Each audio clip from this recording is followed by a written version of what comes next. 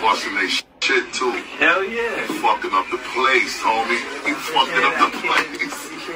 Incredible with everything, man. It's the first show I got to experience too. Tried to make it to a few. For one reason or another.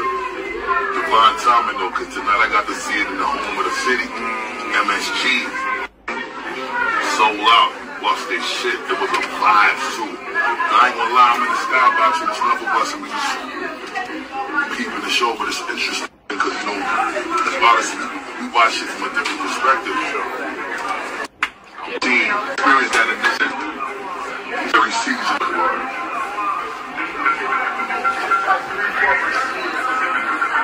How long you in town, okay?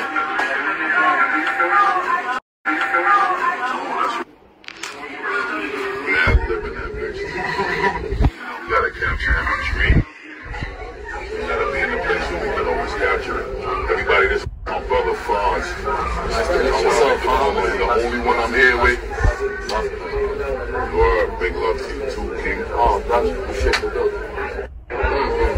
Texas, so you don't mind.